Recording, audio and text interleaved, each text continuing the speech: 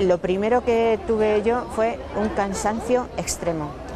O sea, lo de la palabra fatiga se queda corta, pues extenuación.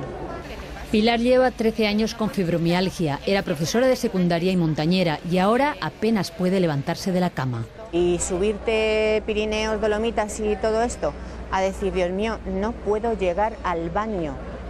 Cansancio extremo y problemas de sueño son los únicos síntomas, por eso muchos pacientes tardan años en ser diagnosticados. Pensó que era una depresión y me envió a una psiquiatra.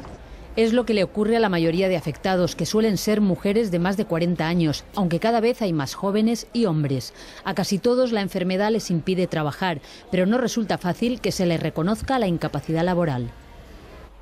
De momento, el único tratamiento es con analgésicos y ansiolíticos, pero un equipo de investigadores de la Universidad de Sevilla ha descubierto que muchos pacientes tienen un déficit de coenzima Q10 y que corrigiéndolo con un fármaco que ya existe, el enfermo mejora. Tras un ensayo clínico en el que se haya contrastado el efecto del coenzima Q con un placebo y se muestre que realmente es efectivo, como ya hemos visto en nuestros estudios, y que además no produce ningún efecto secundario, entonces sí se le puede dar vía libre al tratamiento. El fármaco ya lo han probado con 20 enfermos y todos han mejorado.